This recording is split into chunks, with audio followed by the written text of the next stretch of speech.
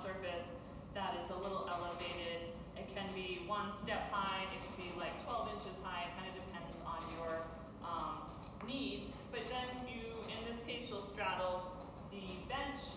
You want to line your ankles up with the handle of the kettlebell. You're going to hinge the hips back, reaching down towards the handle, making sure that the core stays engaged, the arms stay really plastered to the side of the body. So I'm going to hinge back with a nice neutral uh, spine, and I'm going to exhale, drive my feet through the floor to stand up.